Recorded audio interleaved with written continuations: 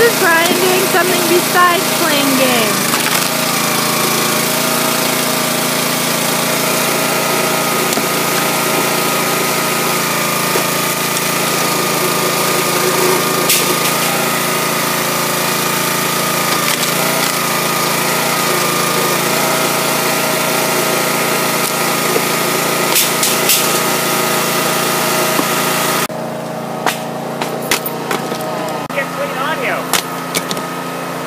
Swear to